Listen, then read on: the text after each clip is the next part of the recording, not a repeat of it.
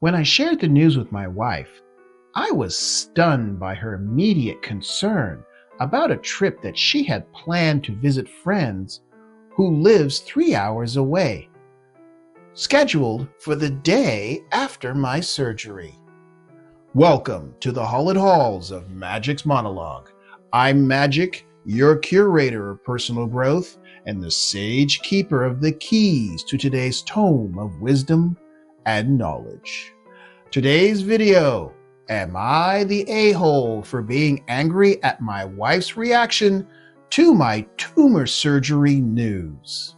But before embarking on the expedition to knowledge and many people's very poor life choices, I thank you for the thumbs up you've given me, the subscribe, and the smacking of the bell to be instantly notified of new videos.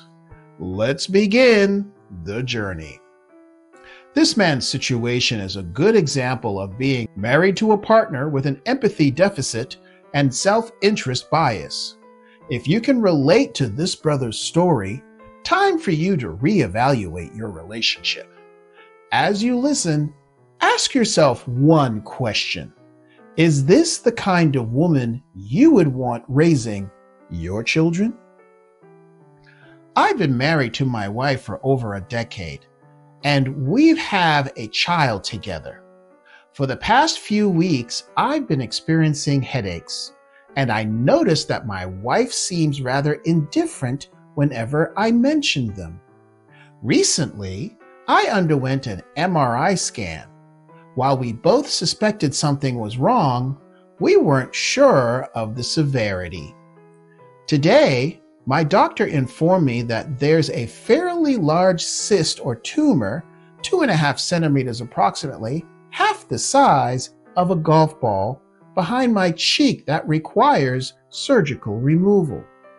When I shared this news with my wife, I was stunned by her immediate concern about a trip that she had planned to visit friends who live three hours away, scheduled for the day after my surgery. This trip had been in the works for some time, but I was hurt by her prioritizing it at that moment. Really? This is how she responds? I get it, guys. She might have an avoidant or dismissive attachment style where closeness and dependency needs are uncomfortable for her to manage, leading her to pull away when her husband requires emotional support. However, screw that. That is no freaking excuse. When I expressed my preference to skip the trip to focus on recovery, she suggested taking our son with her while leaving me at home. Hmm, makes you kind of wonder. This suggestion caused me to lose my temper. Yeah, rightfully so and I responded by yelling and cursing her via text. Okay. She defended herself, claiming that I was being unreasonable and that she was merely asking practical questions for planning purposes. In other words, she was gaslighting you, and she was not kidding. You caught her being who she is. My brother, this tells you all you need to know. Chances are you're the guy she settled for, and all you're good for is the resources that you can provide. I also have to wonder if there's something else going on, and why is she so keen on this trip, even in the face of your facial surgery? Yeah, that pun was unintended. This is a massive act of disrespect, and frankly, when you get better, time to see a lawyer about your options.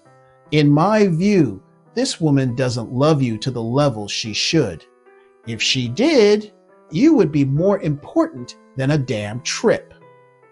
While I'm preoccupied with the thoughts about the surgery, its potential complications and risk, it seems her primary concern was whether her social plans could proceed. I found it inappropriate and inconsiderate that she would even consider leaving me alone during my recovery instead of focusing on how she could help me through this. Take note of this, guys. Women are supposed to be the natural nurturers. Do you see any nurturing here? To be fair, I know she would stay if I explicitly asked. Uh huh. And she has offered to drive me to the surgery. The doctor also believes the cyst or tumor is non cancerous, so I'm not facing a life threatening situation.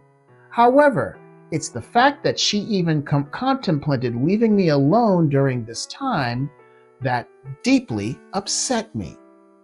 Am I the a hole in this situation? All right. Well, let me be succinct. No, you're not. I'm a big fan of overt communication. There is no such thing as mind reading. However, Basic human decency would tell a woman to take care of her man. It reasonably should be an immediate and innate response, and it is missing in her. In the comments below, give your thoughts, guys, if you think she was planning on meeting someone on the down low. As for you, my brother, play chess, not checkers. Find out your options what moves you need to do to protect your assets, and how long after those moves must you wait before you file for divorce. I don't see your situation getting better. As time goes on, I see it getting far worse. However, regardless of what you do, you should at least find out what your options are, protect your assets, just in case you wake up one morning and discover she doesn't want to be with you anymore. If you are one of those unsubscribed viewers who likes my channel and finds value in my videos, it's time to show it by doing three things.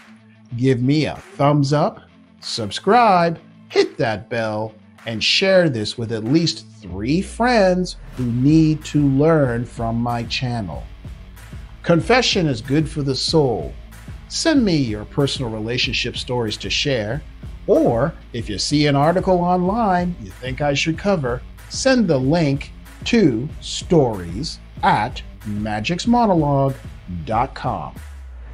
Through this, you are leading by example, encouraging other men to rise higher and ensuring you live a life of passion, purpose, and prosperity. If you can't wait for my next new video, then click on one of these if you're on YouTube and enjoy another one right now. Until next time.